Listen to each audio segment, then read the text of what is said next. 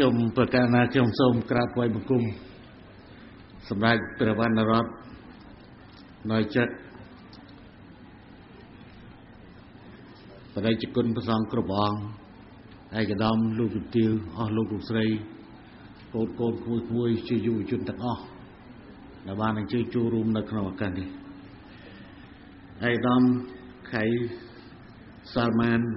ប៊ីនអ៊ីប្រាហ៊ីមអលខាលី តំណាងសហព័ន្ធបាល់ទាត់ពិភពលោកនិងជាប្រធានសហព័ន្ធបាល់ទាត់ពិភពអាស៊ីប្រមម្ចាស់ស៊ុលតាំងហាជីអារមេតសាប្រធានសហព័ន្ធបាល់ទាត់អាស៊ានអាដាមចិនបាក់ហាប្រធានសមាគមវិនិយោគគិនវៀតណាមនៅកម្ពុជាព្រះម្ចាស់ឯកឧត្តមអស់លោកលោកស្រី ប្រិយមិត្តនៃសហគមន៍បាល់តាត់គ្រូសាបាល់តាត់ទាំងអស់ដែលបានអញ្ជើញចូលរួមនៅក្នុងឱកាសនេះថ្ងៃនេះខ្ញុំគណៈខ្ញុំពិតជាមេការរីករាយដែលបានមកចូលរួមជាមួយសម្ដេចបរិជ្ជគុណប្រសំក្របងឯកឧត្តមលោកជំទាវអស់លោកលោកស្រីពិសេសក្មួយក្មួយយុវជន ដែលមកជួបជុំរាប់ពាន់នាក់នៅទីនេះដើម្បីសម្ពោធដាក់ឲ្យប្រើប្រាស់នៅមជ្ឈមណ្ឌល និងសីសាលាកីឡាបាល់ទាត់ជាលើកដំបូងដំណាក់កាលទី1របស់យើងនាពេលនេះខ្ញុំប្រកាសថាខ្ញុំពិតជាមានការរីករាយនិងរំភើបដែលបានឃើញនៅទីកន្លែងនៃការបណ្ដុះបណ្ដាលសម្រាប់វិស័យកីឡាបាល់ទាត់របស់យើងហើយតាមរយៈនៃរបាយការណ៍របស់ឯកឧត្តមនាយឧត្តមសេនីយ៍សៅសុខាប្រធានសហព័ន្ធ កីឡាបាល់ទាត់កម្ពុជាជាមួយនឹងតំណាងឲ្យសហព័ន្ធកីឡាបាល់ទាត់ពិភពលោកនិងសហព័ន្ធកីឡាបាល់ទាត់ទ្វីបអាស៊ីក៏ដូចជាលោកច័ន្ទបាក់ខា ដែលបានលើកឡើងនៅក្នុងរបាយការណ៍របស់ខ្លួនខ្ញុំប្រកាសថាខ្ញុំពិតជាមានមោទនភាពជាមួយនឹងការរីកចម្រើននៃវិស័យកីឡារបស់កម្ពុជា ខ្ញុំប្រកាសថាខ្ញុំសូមយកឱកាសនេះដើម្បីថ្លែងជូននៅការកោតសរសើរចំពោះសហព័ន្ធកីឡាបាល់ទាត់កម្ពុជា ដោយមានការជួយឧបត្ថម្ភគ្រប់គ្រងពីរាជរដ្ឋាភិបាលពីស្ថាប័នពាក់ព័ន្ធពីសប្បុរសជនទាំងក្នុងនិងក្រៅប្រទេសហើយក្នុងនោះក៏រួមមានសហព័ន្ធកីឡាបាល់ទាត់ពិភពលោកនិងសហព័ន្ធកីឡាបាល់ទាត់អាស៊ី អាស៊ានក៏ដូចជាមិត្តភ័ក្តិពីសាធារណរដ្ឋសង្គមនិយមវៀតណាម យើងបានបង្កើតឡើងនៅមជ្ឈមណ្ឌលសម្រាប់ការបណ្ដុះបណ្ដាលដែលហៅថាសាលាកីឡាបាល់ទាត់ដែលពេលនេះយើងអាចចាត់ទុកបានថា យើងកំពុងធ្វើដំណើរទៅរកឯកទេសកម្មលើបញ្ហាកីឡាយើងទាំងអស់គ្នានៅចាំបានហើយថា ព្រឹត្តិការណ៍ដែលយើងបានឆ្លងកាត់ជួបការលំបាកណាស់ដោយដែលឯកឧត្តមនេះឧត្តមសេនីយ៍សៅសុខាបានលើកឡើងអំបញ្ញមិញនៅក្នុងរបាយការណ៍របស់ខ្លួនវិស័យកីឡាត្រូវបានបំផ្លាញហើយបន្ទាប់ពីថ្ងៃរំដោះ7មករា1979វិស័យនេះក៏ត្រូវបានងើបឡើងបន្តិចម្ដងបន្តិចម្ដងតើយើងនៅចាំបានទេជាពិសេស អ្នកដែលជាជំរឹះជាតិនៅក្នុងដំណាក់កាលនេះ ហើយក៏អាចជាអ្នកជំរឹះជាតិនៅក្នុងដំណាក់កាលមុនដែរនៅពេលដែលយើងចាប់ផ្ដើមហាត់កីឡាជាលើកដំបូងបន្ទាប់ពីថ្ងៃរំដោះបាល់របស់យើងមានកន្លែងខ្លះដែលនៅក្បែរចកាកស៊ូនោះយើងក៏ចាប់ផ្ដើមយកជ័រកស៊ូយកមកធ្វើជាបាល់ដើម្បីតត ផ្នែកខាងក្នុងធ្វើពីរស័យផ្នែកខាងក្រៅគឺរុំរួចហើយនាំវាតតអានឹងមកផ្នែកទៅមកផ្នែកទៀតទោះបីមានបាល់ហើយក៏ដោយប៉ុន្តែយើងគ្មានតារាងតតទេបែរជាយើងនាំគ្នាតតទៅតាមវាលស្រែហើយអ្វីដែលគួរឲ្យអស់សំណាញ់នោះខ្លួនខ្ញុំផ្ទាល់ធ្លាប់ជួបប្រទះជាមួយនឹងបញ្ហាតតកីឡាតតបាល់ជាមួយនឹងយុវជន ពួកចាស់ចាស់ទៅតតបាល់ជាមួយយុវជនប៉ុន្តែពេលនោះខ្ញុំក៏មិនតាន់ជាចាស់ប្រមាណដែរទៅតតជាមួយយុវជនអេគេតតឲ្យបាល់ស្បែកស្បែកជើងរបស់អ្នកតតបាល់មកទៅខ្នងយើងអញ្ចឹងបានសង្កេតថា អាតតបាល់ហ្នឹងអាបាល់វាទៅហើយតែអាស្បែកជើងវាលវោតមកត្រូវខ្នងយើងទៅទៀតអានេះជាប្រវត្តិនៃកីឡារបស់កម្ពុជាដែលយើងចាប់ផ្ដើម ពីស្ថានភាពដ៏លំបាកលំបិនខ្ញុំគិតថាវាជារឿងគួរឲ្យចងចាំខ្លាំងណាស់ដែលយើងបានប្រឹងងើបឈរបន្តិចម្ដងបន្តិចម្ដងហើយធ្វើឲ្យមានស្ថានភាពដូចសពថ្ងៃនេះកីឡាកម្ពុជា បានចាប់ផ្ដើមចេញទៅប្រកួត នៅក្រៅប្រទេសទោះបីថា យើងមិនតាន់បានទទួលជោគជ័យក៏ដោយចុះក៏ប៉ុន្តែដែលហៅថាកីឡាវាមានឈ្នះនិងមានចាញ់របស់វា អ្វីដែលយើងបានប្រឹងប្រែងរួមគ្នាក្នុងរយៈពេលជាង34ឆ្នាំ ជាពិសេសចាប់តាំងពីរយៈពេលដែលកម្ពុជាមានសន្តិភាពពេញលេញតាមរយៈនៃនយោបាយឈ្នះឈ្នះអនុញ្ញាតឲ្យវិស័យកីឡារបស់យើងរីកផលផុសនៅគ្រប់ទីកន្លែងនៅទូទាំងប្រជាណាចក្រកម្ពុជាទាំងនៅទីក្រុងទីប្រជុំជន ហើយក៏នៅតាមទីជនបទផងដែរខ្ញុំប្រកាសណាខ្ញុំសូមយកឱកាសនេះ ថ្លែងនៅការកោតសរសើរចំពោះការខិតខំទាំងអស់ដែលយើងបានរួមគ្នាទាំងផ្នែករដ្ឋក៏ដូចជាវិស័យឯកជននិងការចូលរួមរបស់ប្រជាពលរដ្ឋហើយជាពិសេសនៅក្នុងចំណោមយុវវ័យរបស់យើងដែលនិយមតេតិនជាមួយនឹងបញ្ហាកីឡាជាទូទៅហើយនិយាយដោយឡែកគឺកីឡាបាល់ទាត់ដែលជាប្រភេទកីឡាមួយ ពេញនិយមជាងគេនៅលើពិភពលោករបស់យើងនេះឥឡូវនេះពិតមែនតែយើងមិនតាន់ដើរដល់កម្រិតមួយ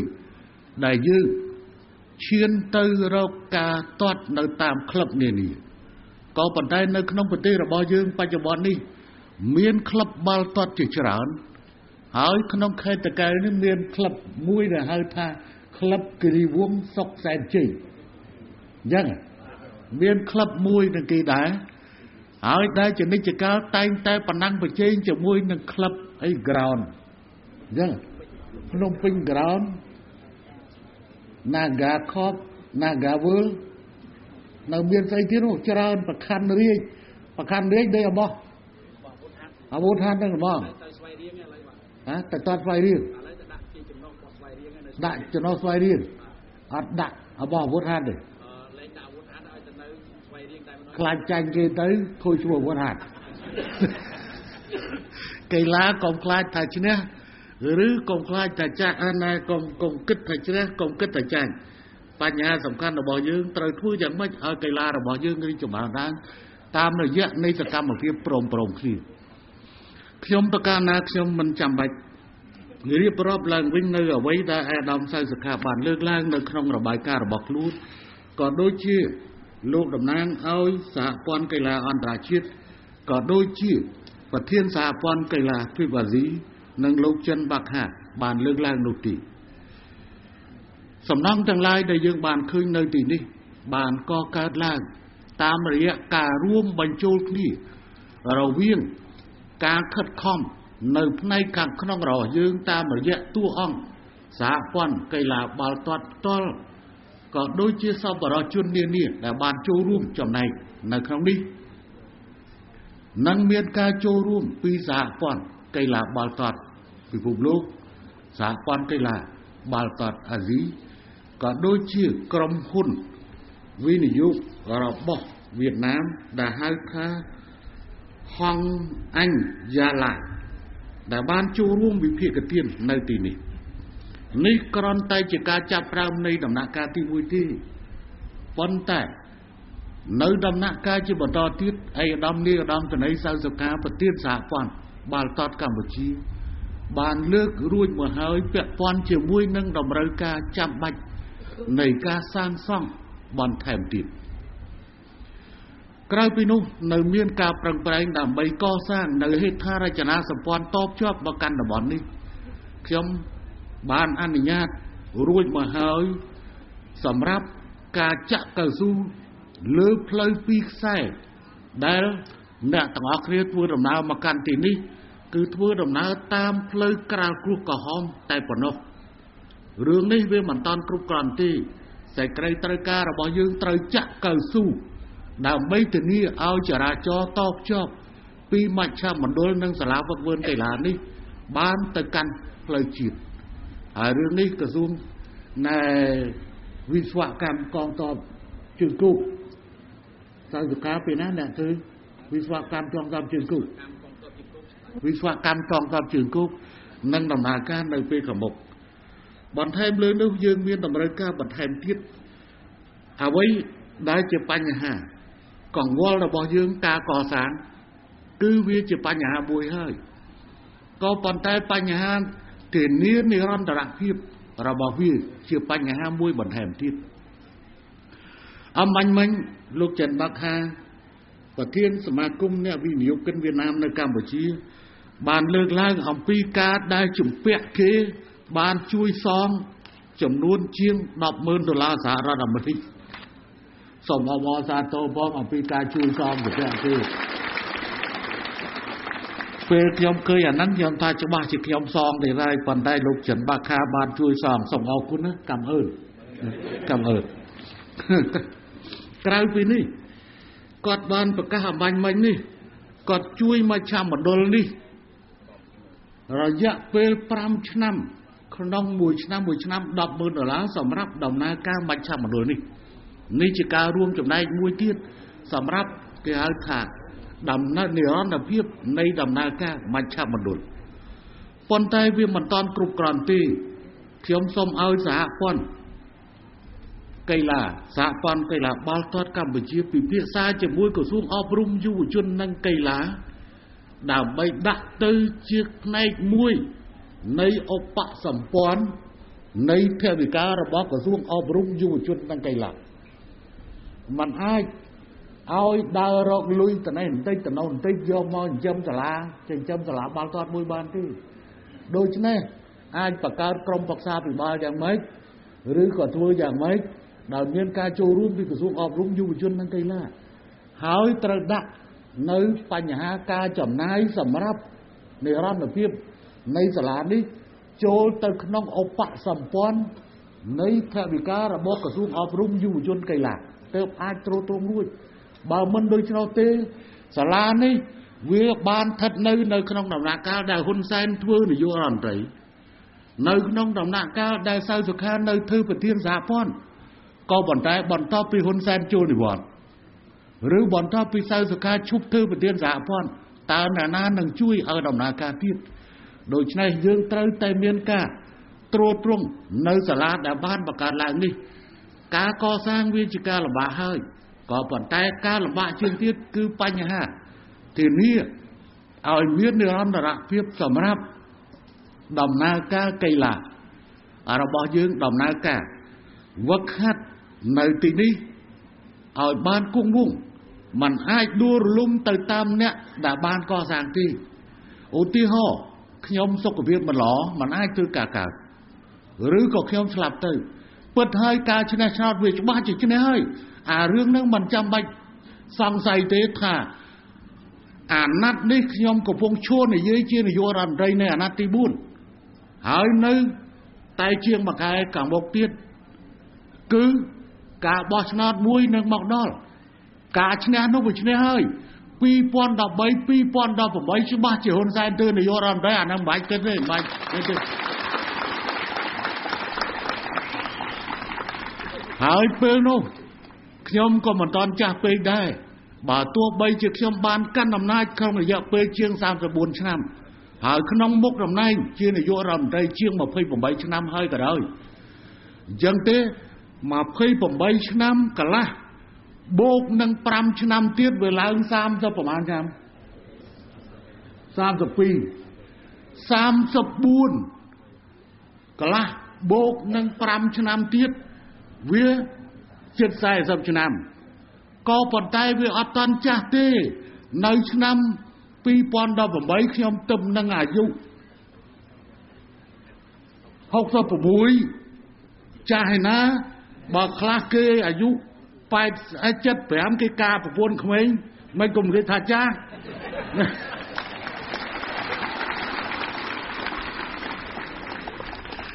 ថ្ងៃមុនកូនខ្ញុំខ្ញុំកូនប្រុសខ្ញុំ នៅណានៅអង្គុយណា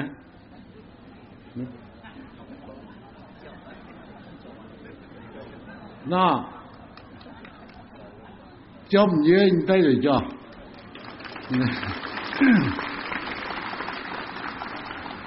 កូនពៅប៉ុន្តែក្បាលតពេកទៅឯខេត្តកំពង់ស្ពឺចាស់ចាស់គាត់និយាយថាម៉េច ថា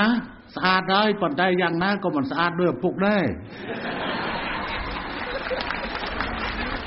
ហាអើនៃករណីពេជ្រ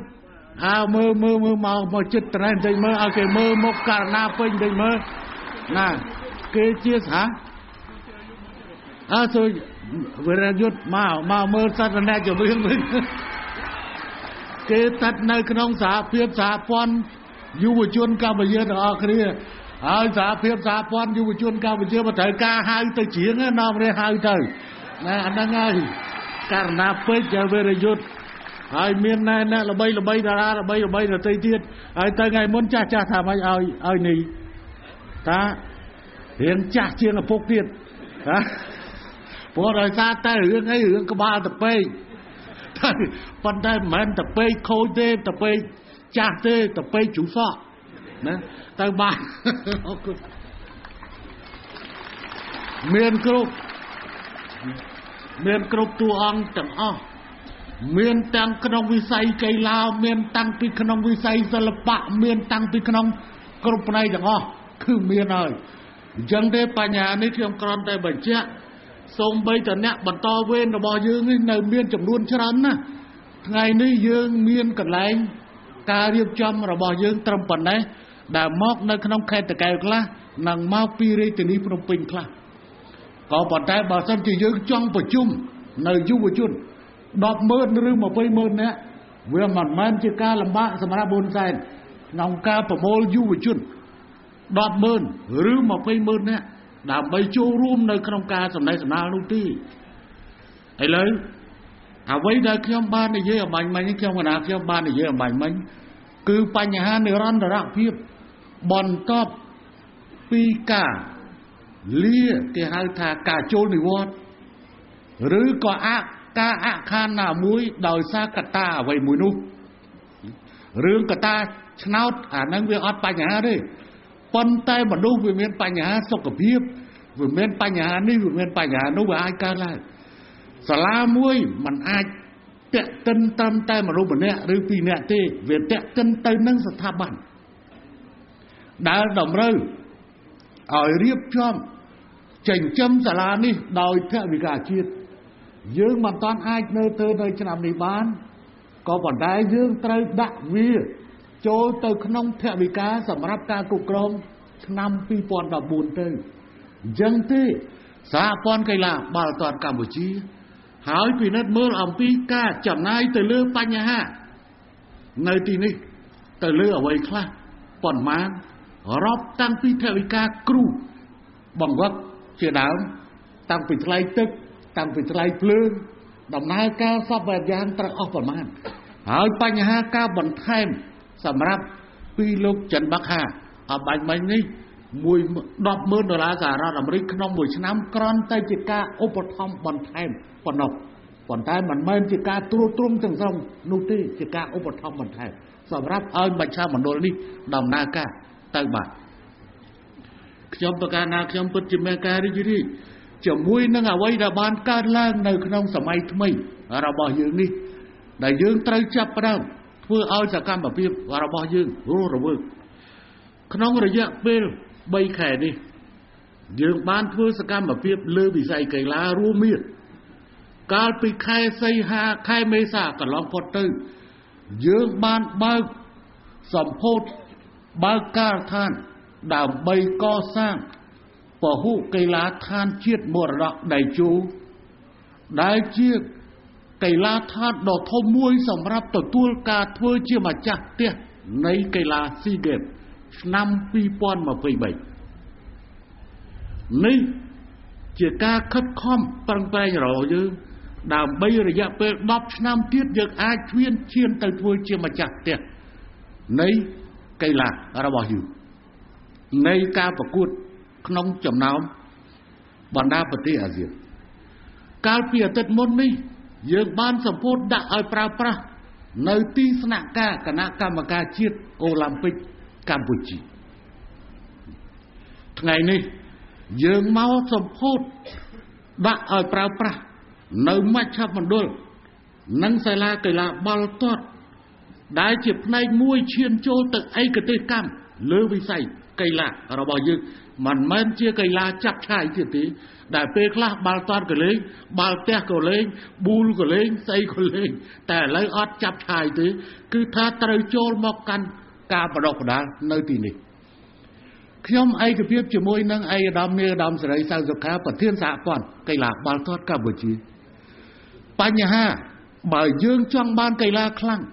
មិនមែនចាប់ផ្ដើមត្រូវវឹកហាត់នៅត្រឹមអាយុ20ឆ្នាំឬ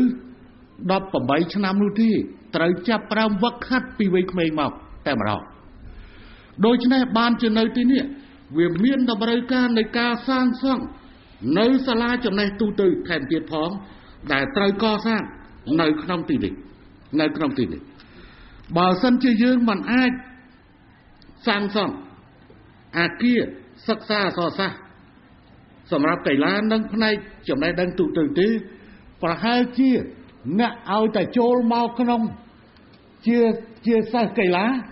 គឺបាត់បង់នៅការរៀនសូត្រចំណេះដឹងទូទៅมันអាចបានទេมันអាចធ្វើទៅកើតទេ ដូច្នេះ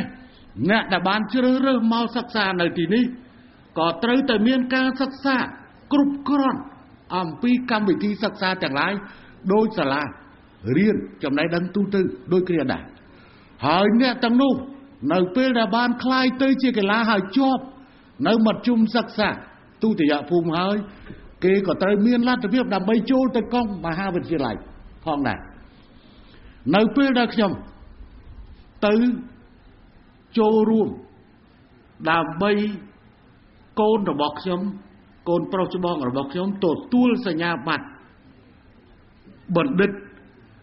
នៅសាកលវិទ្យាល័យ Bristol ខ្ញុំបានពេលនោះសាកលវិទ្យាល័យ Bristol ក៏បានផ្ដល់នៅសញ្ញាបត្របណ្ឌិតកិត្តិយសឲ្យកីឡាបាល់ទាត់ម្នាក់ឈ្មោះអូវិន ដែលជានិស្សិតនៃសាកលវិទ្យាល័យ Bristol របស់ចក្រភពអង់គ្លេសហើយដែលបានចេញទៅជាជំរើសជាតិរបស់ចក្រភពអង់គ្លេសហើយសាកលវិទ្យាល័យនោះបានផ្ដល់សញ្ញាបត្របណ្ឌិតកិត្តិយសជូននិស្សិតរូបនេះអតីតនិស្សិតរូបនេះករណីដូចគ្នានេះដែរអ្នកដែលបានជ្រើសរើសឲ្យចូលមកសិក្សា នៅសាលាបាល់ទាត់នេះ ក៏ត្រូវតែមានសាលានៅនឹងកន្លែងនេះតែម្ដងអញ្ចឹងទេតាមរយៈនេះ យើងត្រូវកសាងនៅសាលាមួយខ្នង2ជាន់12បន្ទប់ជូនសាលានេះដើម្បីសិក្សាចំណេះទូទៅហើយអេដាមបណ្ឌិតប៉ែនស៊ីម៉ុនទទួលបន្ទុកសាងសង់សាលានេះឯណាមកមកដែរ អត់មកទេប្រហែលទៅកាត់ឬសីមានោះជំនាញខាងកាត់ឬសីមាកាត់រាល់ថ្ងៃអញ្ចឹងទេគឺថាយើងសាងសង់សាលានេះហើយសាលានេះក៏បានបង្ហាញកាន់តែច្បាស់នៅទួនាទីរបស់ក្រសួងអប់រំដែលត្រូវចាប់ផ្ដើមបញ្ជូនគ្រូមកនៅទីនេះហើយក៏ដូចគ្នាដែរមជ្ឈមណ្ឌលនៅទីនេះកុំគិតតែអំពីកន្លែងស្នាក់នៅរបស់គ្រូបង្វឹកកីឡាក៏ត្រូវគិតពីកន្លែងស្នាក់នៅរបស់ គ្រូបង្រៀនសម្រាប់កូនសិស្សនឹងដែរមិនចឹងបើមិនចឹងទេ បានគ្រូណាមកបង្រៀនចឹងទេត្រូវគិតអំពីកន្លែងហ្នឹងប៉ុន្តែបើសិនរើគ្រូបាននៅជុំវិញក៏ជាការល្អគាត់មិនចាំបាច់មកស្នាក់នៅនេះទេប៉ុន្តែគ្រូមកពីចម្ងាយដែលទាញបានគ្រូល្អល្អពីចម្ងាយមកគឺគាត់អាចនឹងមកស្នាក់នៅទីនេះតែម្ដងនឹងយើងត្រូវគិតឲ្យបានគ្រប់គ្រាន់ទៅលើបញ្ហាទាំងឡាយ ហើយគ្រូនេះមិនមែនគ្រាន់តែជាគ្រូបង្រៀនធម្មតាទេយើងត្រូវមានឯកទេសនៅក្នុងបញ្ហាគ្រូនឹងទៀតរាប់ទាំងគ្រូភាសាអង់គ្លេសគ្រូកុំព្យូទ័រឬនឹងគ្រូដទៃទៀតដែលពាក់ព័ន្ធទៅនឹងមុខជំនាញព្រោះបាល់ទាត់មិនមែនគ្រាន់តែទៅទាត់នោះទេប៉ុន្តែត្រូវមានចំណេះដឹងផ្សេងផ្សេងដទៃទៀតរាប់ទាំងភាសាហើយបញ្ហាថែមទៀតនោះ បើសិនជាខ្ញុំមិនច្រឡំទេ អ្នកបាល់ទាត់ក្តីហើយជាពិសេសអ្នកលេងកូនគោលទៅបងត្រូវមានវិទ្យាសាស្ត្រខ្លាំងណាស់នៅក្នុងទីនេះព្រោះឧទាហរណ៍លេងកំពុងមានស្ថានភាពភ្លៀងអាស្ថានភាពខ្យល់ចឹងទេតតរបៀបម៉េចដើម្បីប្រឆាំងនឹងខ្យល់អានឹងត្រូវគិតតតរបៀបម៉េចដើម្បីឲ្យវាកោងដើម្បីឲ្យវាប្រឆាំងជាមួយខ្យល់ ព្រោះលបឿនវាខុសគ្នា នៅពេលដែលយើងតតរបៀបនេះតតបដៅខ្យល់តតរបៀបម៉េចដើម្បីអាលបឿនបាល់នឹងវាយ៉ាងម៉េចអានេះខ្ញុំមិនបានជាគ្រូបាល់ទាត់ទេក៏ប៉ុន្តែខ្ញុំស្គាល់វាអំពីបញ្ហាអ្វីទៅដែលហៅថាកីឡាហើយជាពិសេសបើកូនគោលទៀតសោតមេជារបៀបនេះมันអាចវាយធម្មតាបានទេ ត្រូវគិតសំណើមក្នុងអាកាស សូម្បីតែខ្យល់មកបដ ாய் ក៏ដោយมันអាចអាដែងកូនកូនបាល់ហ្នឹងវារត់ទៅតាមលបឿនខ្យល់បានទេដោយសារអីដោយសារសំណើមវានៅក្នុងក្នុងអាកាសនេះអញ្ចឹងបាល់ដែលធ្លាប់វាយលេខទៅថាលេខ9វាយបាន150យ៉ាតអញ្ចឹងនៅពេលដែលមានសំណើមក្នុងក្នុងអាកាសយ៉ាងនេះយើងមើលទៅធាតុអាកាសដូចធម្មតាណាប៉ុន្តែល្បឿនបាល់រត់ គឺអាចកាត់បន្ថយដល់ទៅ20យ៉ាតនោះកាត់បន្ថយ10%ឬជាង10%អញ្ចឹងទេករណីបាល់ទាត់ក៏ដូចគ្នាដែរអញ្ចឹងត្រូវមានវិធីសាស្ត្រត្រូវមានវិទ្យាសាស្ត្រនៅក្នុងខួរក្បាលរបស់អ្នកទាត់តែម្ដងហើយល្បិចលេងនេះខ្ញុំមិនចាំបាច់រៀនបង្រៀនត្រីឲ្យចេះហែលទឹកទេពេលខ្លះយើងលេងតាមរបៀបគេហៅថាលេងតាមរបៀបបុរាណអញ្ចឹងទេយើងពិនិត្យមើលខ្ញុំមិនមែនជាអ្នកបាល់ទាត់ទេក៏ប៉ុន្តែគ្រាន់តែជាអ្នកមើលបាល់ទាត់យើងយើងពិនិត្យមើលពួកអង់គ្លេសជួនកាលលេងបាល់សិតតែបាល់វែងប៉ុន្តែអង់គ្លេសពួកអង់គ្លេសកាលណាទៅប៉ះពួកក្រូអាតពួករ៉ូម៉ានីដែលពួកអតីតអឺរ៉ុបខាងកើតគឺពិបាកលេងណាពួកពួកនោះលេងបាល់ខ្លីណារឿងវិញចេះពួកលេងបាល់វែងនិងលេងបាល់ខ្លីគឺស្ថានភាពវាមិនដូចគ្នាទេ អាហ្នឹងបើនិយាយពីអេនិយាយអញ្ចឹងដូចថាឯងថាមិនមិននិយាយពីតារបៀបបាល់ប៉ុន្តែទៅបង្រៀនដូចជាឲ្យគេដឹងអីដូចចេះខ្លាំងណាស់ប៉ុន្តែយើងពិនិត្យមើលរបៀបទាត់ពួករ៉ូម៉ានីពួកក្រូអាតអីកាលណាចូលអាដែងដែរគប់អឺរ៉ុបគឺចាប់ដើមលេងពួកហ្នឹងលេងអត់អត់លេងបាល់បាល់វែងទេគឺលេងបាល់ខ្លីអញ្ចឹងពួកលេងបាល់វែងតែគេថាគេចាប់បានអាបាល់ជួនកាលឲ្យលេងបាល់វែងគេឈ្នះ ជួនកាលឲ្យលេងបាល់ខ្លីឈ្នះអញ្ចឹងវិធីលេងមិនដូចគ្នាទេហើយយើងបើថាវែងវែងរហូតអញ្ចឹងទៅតាំងពីតាំងពីដើមដល់ចប់អត់មានប្រែបច្ចេកទេសអីបន្តិចណាទេអាហ្នឹងគឺស្ថិតនៅក្នុងបញ្ហាគ្រូមកវឹកអនុញ្ញាតឲ្យលេងបែបណាអញ្ចឹងបញ្ហាគ្រូមកវឹកក៏មិនមែនជាបញ្ហាធម្មតាពេកទេបញ្ហាធម្មតាពេកទេយើងត្រូវមានគ្រូមកវឹកមួយដល់ល្អគ្រូមកវឹកដល់ល្អមិនត្រឹមតែអញ្ញាកដាកដោគ្រូអលឹក បង្វឹកល្អតតរបៀបម៉េចណាសូម្បីតែបាល់ផ្ទះពេលខ្លះគប់គប់វែងគិតទៅពីគប់អានឹងបាល់ខ្មែរអានឹងខ្ញុំចិត្តតែព្រោះចេះធ្លាប់ទៅលេងបាល់ផ្ទះផងបាល់តតផងហើយលេងប៊ូលហើយលេងឥឡូវគេលេងលេងកូនកូលខ្មែរយើងទម្លាប់ចេះត្រូវតែកែបើមិនកែបានទេ ឲ្យតែចាប់ប្រោមចូលហាត់បាល់តតចង់ណាស់វងសងគិតទៅពីនៅខ្សែប្រយុទ្ធ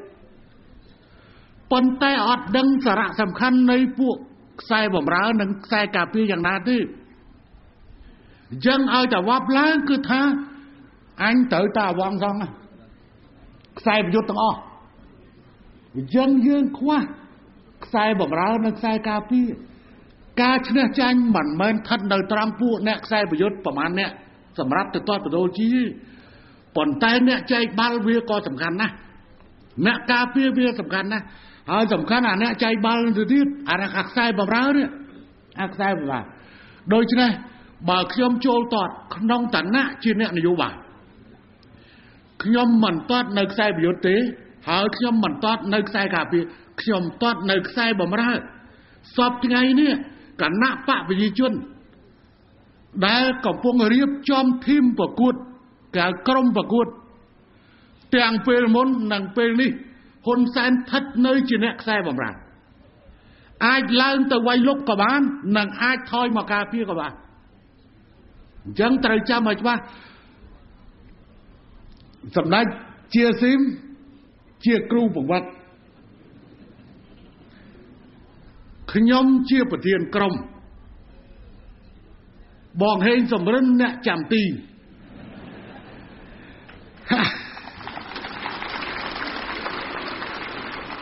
បីអ្នកចែកតួនាទីគ្នាសម្ដេចមួយជាគ្រូបង្វឹកគឺសម្ដេចជាស៊ីមអគ្គមហាធម្មៈពោធិសាជាស៊ីមសម្ដេចអគ្គ មហាបញ្ញាចក្រីហេសម្បិនអ្នកចាំទីដល់ដៃជោសែននេះសម្ដេចអគ្គមហាសេនាបតីដៃជោហ៊ុនសែនដែលហៅថាដៃជោសែននេះគឺជាមេក្រុម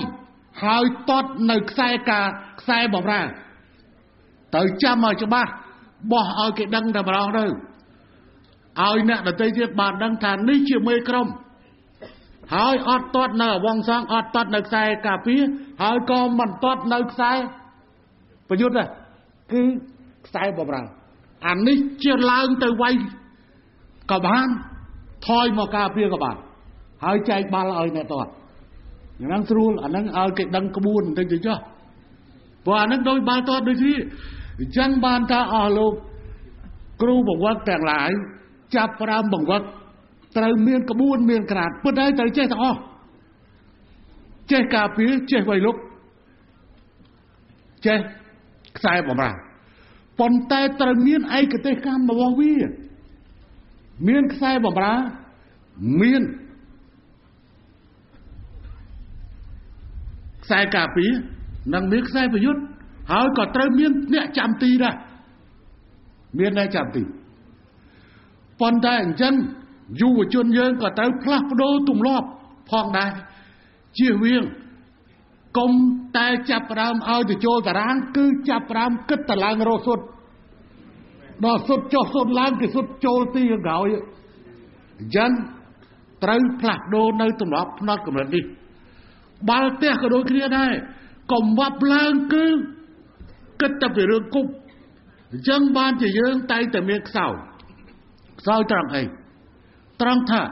បើនិយាយពីបាល់ទះវិញគឺតែវាប់ឡើងគឺគិតតែពីរឿងគប់ទៅមក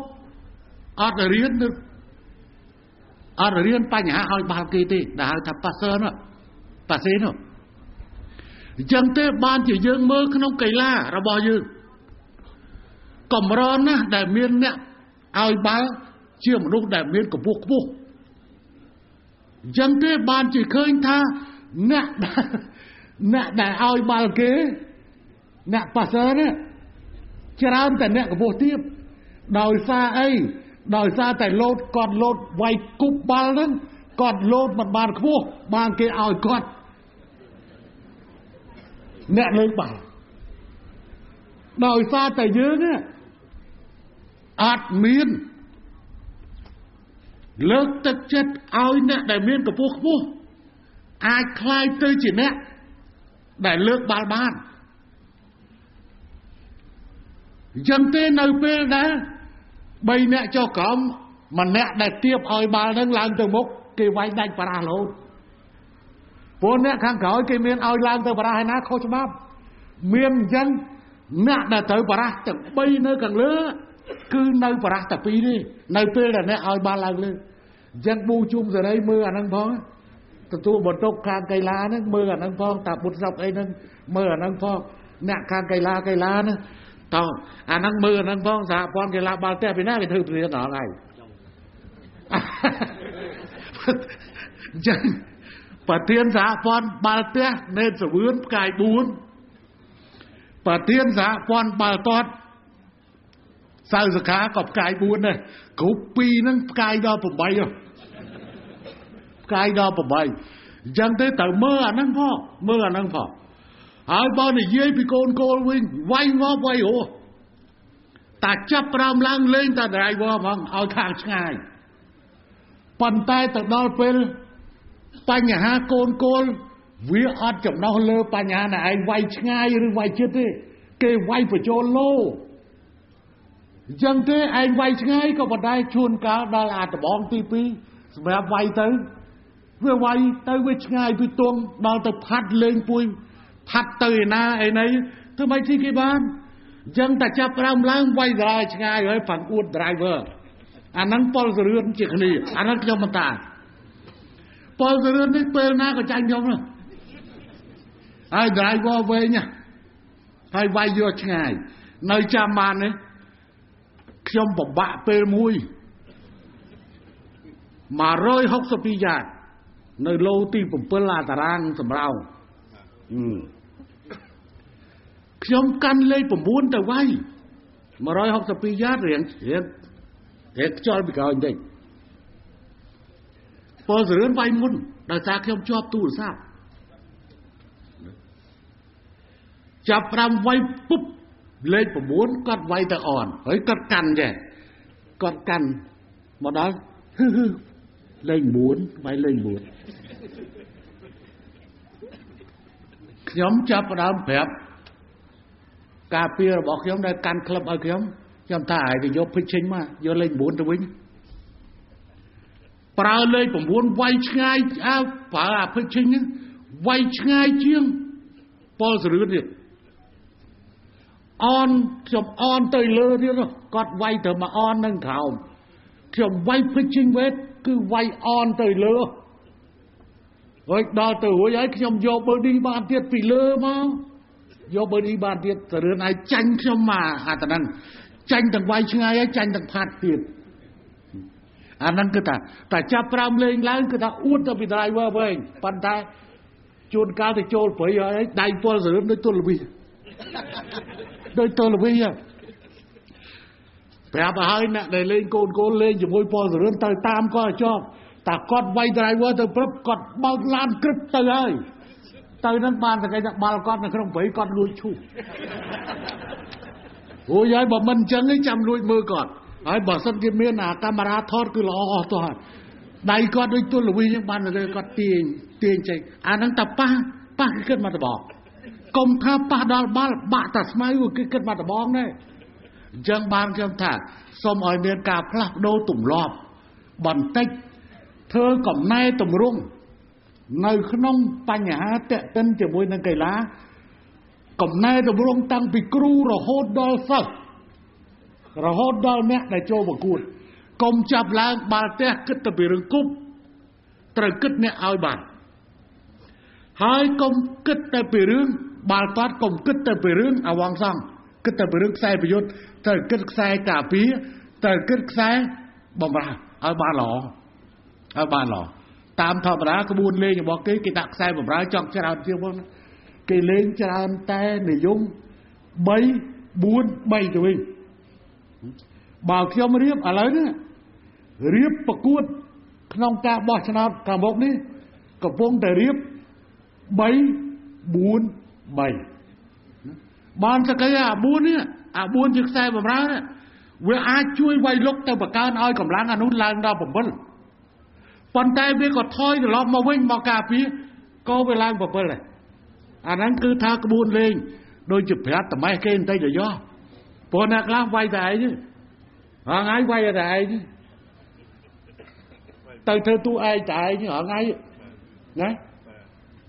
ហេខ្ញុំមិននិយាយថាណាណាទេមិនក្នុងគណៈបច្ចយានទេទៅតែឯងដល់គេវាយទៅវិញវាយតែឯងនោះដែរវាប៉ះតែឯងនោះដែរ ចេញមកគ្រប់រឿងគ្រប់ប្រៅទាំងអស់គ្រប់រសជាតិឥឡូវសាលាក្នុងទីនេះត្រូវបានដោះស្រាយហើយជាមួយនឹងការពិនិត្យទៅដល់ការកសាងបន្ថែមនៅសាលារបស់គ្រូសម្រាប់ការបណ្ដុះបណ្ដាលចំណេះទូទៅត្រូវគិតអំពីបញ្ហាហ្នឹងអំពីបញ្ហាប៉ុន្តែនៅមានបញ្ហាមួយទៀតដែលខ្ញុំសូមកណាខ្ញុំសូមអំពាវនាវនិងសូមផ្ដល់អនុសាសន៍ មិនមែនគ្រាន់តែជាបញ្ហានៅកន្លែងនេះទេក៏ប៉ុន្តែក៏នៅក្របខ័ណ្ឌទូទាំងប្រទេសមិនមែនអ្នកដែលពូកែមកពូកែនៅទីនេះទេតើត្រូវចាប់ប្រើមរើសពីកន្លែងណាមកត្រូវចាប់ប្រើមរើសពីកន្លែងណាយើងច្បាស់ជាថាត្រូវរើសកុមារនិងយុវជនយកមកអញ្ចឹងតើពួកគេ កើតនៅហ្នឹងទេអត់ទេគេកើតនៅគ្រប់24ខែក្រុងដែលយើងត្រូវជ្រើសរើសដូច្នេះហើយបានជាគ្រប់មូលដ្ឋានទាំងឡាយត្រូវតែខិតខំរក្សានៅទីតាំងបាល់ទាត់ដែលវាស្រាប់និងបង្កើតឡើងនៅទីតាំងបាល់ទាត់ថ្មីថ្មីបន្ថែមទៀតនៅតាមភូមិតាមឃុំដើម្បីឲ្យយុវជនមានឱកាសវឹកហាត់ តាំងពីភូមិតាំងពីឃុំតាំងពីនៅសាលាបឋមសិក្សាមធ្យមសិក្សានៅឯមូលដ្ឋាននោះឲ្យពួកគេមានកន្លែងលេងមានកន្លែងលេងអញ្ចឹងទាំងនៅទីក្រុងទាំងនៅទីប្រជុំជនទាំងនៅជនបទយើងត្រូវរកទីកន្លែងឲ្យសិស្សរបស់យើងវឹកហាត់បាទកុមារនិងយុវជនយើងអាចវឹកហាត់បាននៅពេលដែលយើងឃើញថាពួកគេល្អនៅនោះ ទៅយើងបានជ្រើសរើសគេយកមកទទួលអាហារូបករណ៍បានសង្កេតថាពេលហ្នឹងគេត្រូវចាក់ចេញពីផ្ទះមកទទួលអាហារូបករណ៍រៀននៅនេះហើយ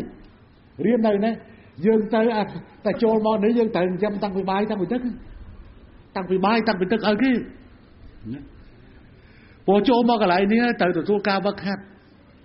អញ្ចឹងទេរើសពីណាត្រូវរើស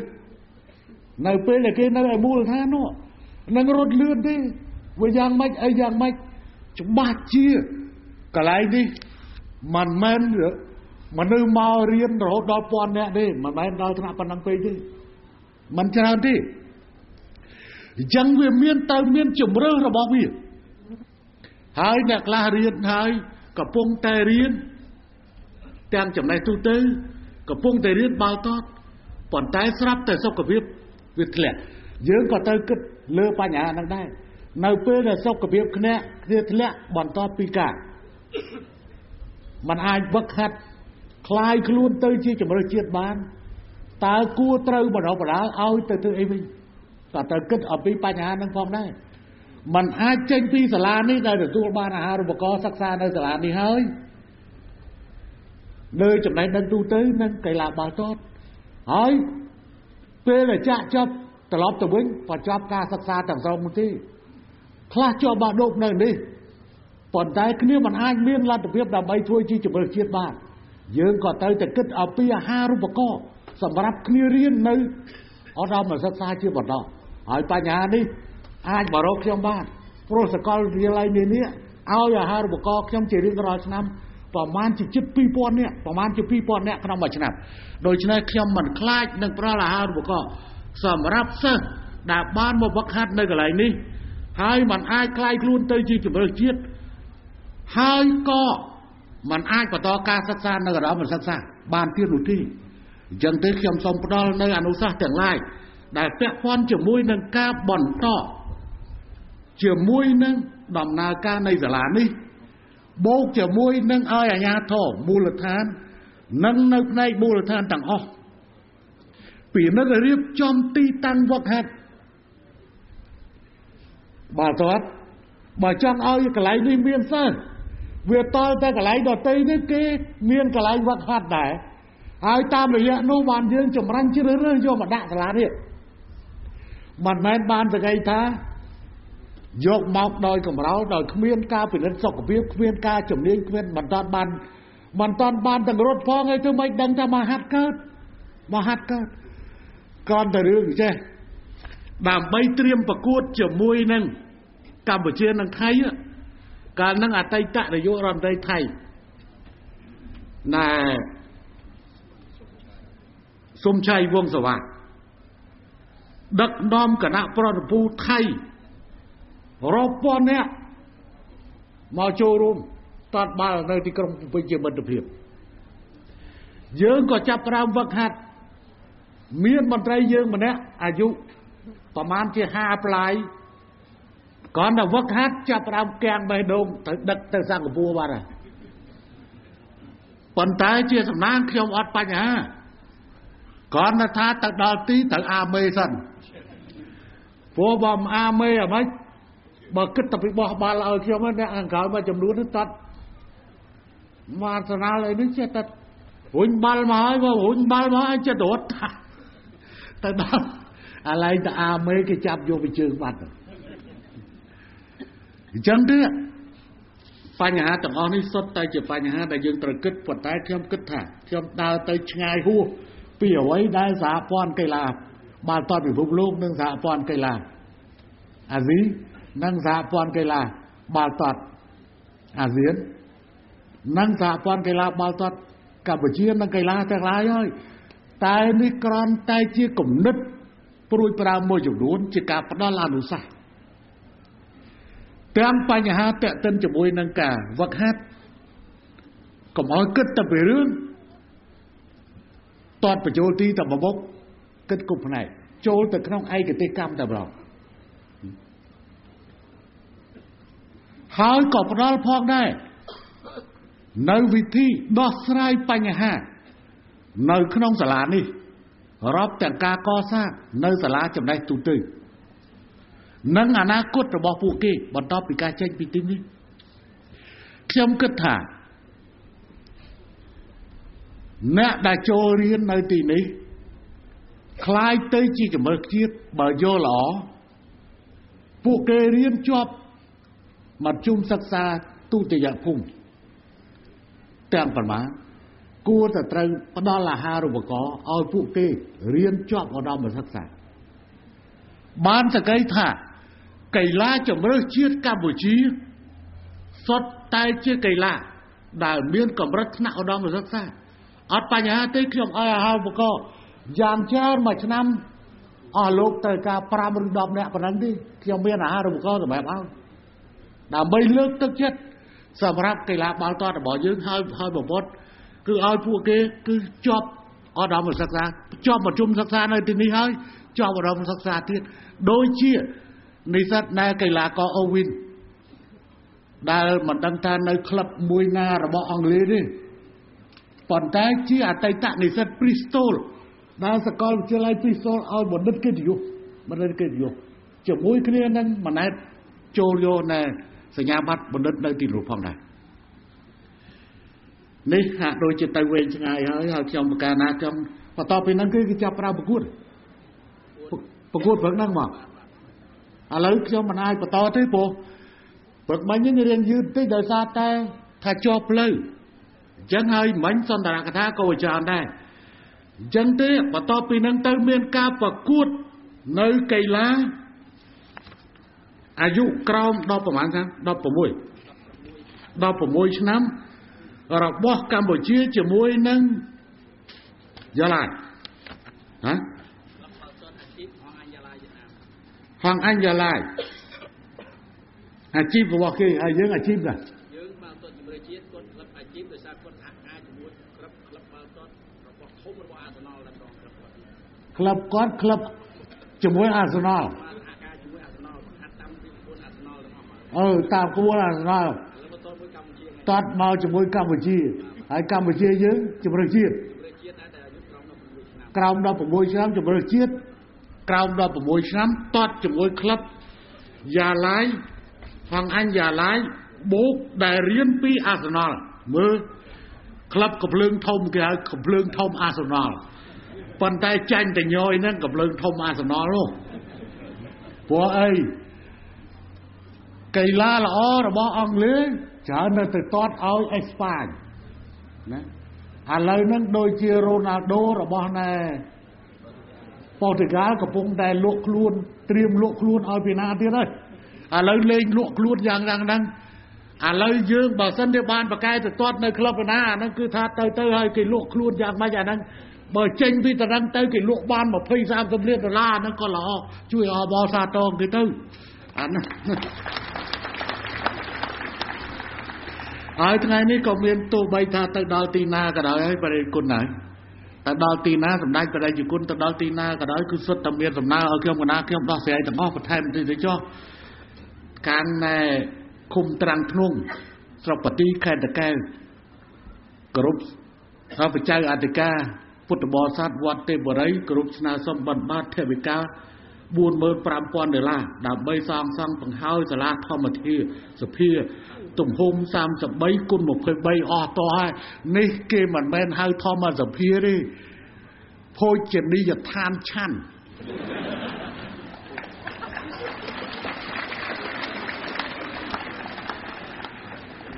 ប្រកេនតាមសំណើហើយលោកអង្គញាត្រីភិបទទួលណាចេញណាក្រៅពីនោះនៅមួយថ្ងៃពីនេះប្រហែលនេះឃុំត្បែងស្រុកកដាលស្ទឹងខេត្តកដាល មានវត្ត2អាមាននៅសំណើ2ទី1ផ្លូវបេតុងមួយខ្សែប្រវែង3600ម៉ែត្រទទឹង5ម៉ែត្រនិងស្ពានថ្មមួយកន្លែងចំណាយត្រូវសាងសង់ចំណាយទឹកប្រាក់អស់256,500ដុល្លារឯទី2ខ្លោងធ្វាវត្តចំនួន2និងរបងពាត់ជុំវិញប្រវែង666ម៉ែត្រចំណាយទឹកប្រាក់ ចំនួន81600ដុល្លារក៏ជូនតាមសំណើដែរហើយព្រឹកមិញនេះមានសំណើបន្ថែមទៀតនេះឃុំពុតសកន្លែងដែលខ្ញុំទៅដេកបងទឹកនោះកាលពីឆ្នាំទៅផ្ទះលោកខែឆ្នាំ2004នោះសាលាបឋមសិក្សាចង្វាក់មាសឃុំសុំជួសជុលអគារសិក្សាមួយខ្នង5បន្ទប់ សុំរបងសាលាប្រវែង300ម៉ែត្រសាលាបឋមសិក្សាព្រៃជាហៅព្រៃស្វាសុំជួសជុលអគារសិក្សា4ខ្នង17បន្ទប់សុំរបងប្រវែង992ម៉ែត្រអាគារនោះដូចសិតតាអាគារខ្ញុំធ្វើពីមុនណាប៉ុន្តែវាល្មមចាស់ហើយមកបន្តិចបាទ អាគារពោះតាំងពី94 95ហ៎យើងធ្វើនៅ94ហ៎94បាទមុនគេមុនគេពុទ្ធសរឥឡូវនេះជួសជុលកើតទេ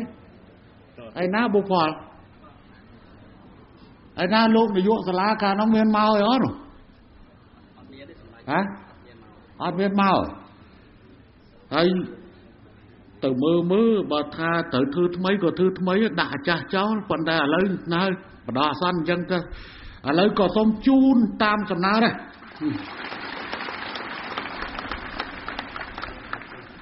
អាដាមនួនបផលនឹងលោកជំទាវទទួលសាងសង់នឹងជួសជុលឃើញណា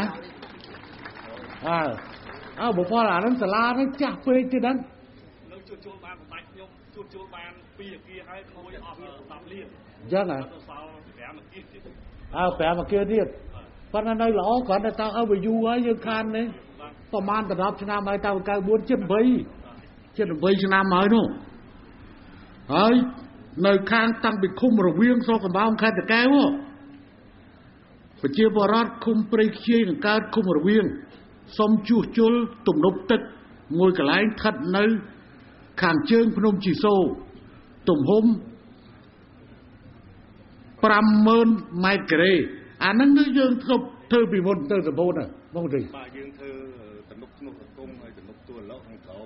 មបាទតំណុកយើងអត់បានជួបជុលបើយើងយើងអត់បានធ្វើ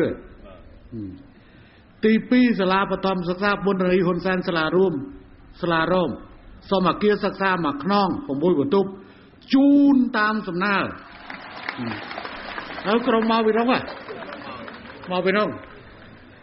លោកមុងរតិថានិងលោកស្រីទទួលសាងសង់អាហ្នឹងកូនមុងរតិទៅដែរធ្វើទៅ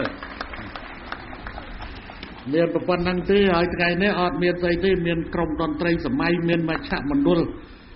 នឹង10លានហើយក្រុមតន្ត្រីសម័យហ្នឹង1លានហើយពេលដែលសម្រាប់ណាឥឡូវករណាពេជ្រនិងរយុទ្ធកុំអាលទៅណា ពេលដែលគេសម្រាប់អា15នាទីទៅឡើងច្រៀងឲ្យគេណាណាគួរគួរទៅចាំណាកុំឲ្យពីរនាក់ហ្នឹងទៅព្រំពេញកាលណាពេជ្រនៅរយុទ្ធទៅនៅជ្រៀងណាជ្រៀងឲ្យគេមើលបងទួ កុំឲ្យទៅណាក្មួយក្មួយទៅទៅគេចាប់តតហើយហើយថ្ងៃនេះ យើងសម្ពោធថ្ងៃនេះក៏ចំថ្ងៃខួបចម្រើនប្រជជនសម្ដេចព្រះរាជមេដាជាតិខ្មែរនរោត្តមមុនីនាថសេនុគម្រប់77យានចូល78ព្រះភាសា ខ្ញុំប្រកាសណាខ្ញុំជំនួសឲ្យអង្គពិធីទាំងមូលសូមថ្វាយពពកចំពោះសម្ដេចម៉ែជាទីសក្ការៈដ៏ខ្ពង់ខ្ពស់សូមព្រះអង្គទ្រង់មានប្រជញ្ញមេយុយឺនយូរបរិយសុខភាពល្អ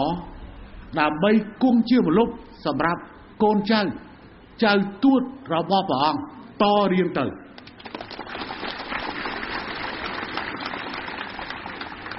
ហើយជាមួយនឹងការប្រកាស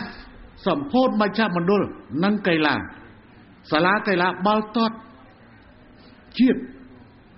ខ្ញុំប្រកាសណាខ្ញុំសូមប្រគេនពរចំពោះបរិយាគុណប្រសងគ្រប់ព្រះអង្គជូនពរឯកឧត្តមលោកជំទាវអស់លោកលោកស្រីបងប្អូនជនរួមជាតិជាពិសេសក្មួយក្មួយកូនកូនក្មួយក្មួយជាយុវជនទាំងអស់កីឡាករកីឡាករនីគ្រូបង្វឹក និងភ្ញៀវបរទេសទាំងអស់សូមប្រកបដោយពុទ្ធពរទាំង4ប្រការអាយុវណ្ណៈសុខៈពលៈកំបីគ្រាគ្រាឡើយសូមអរគុណ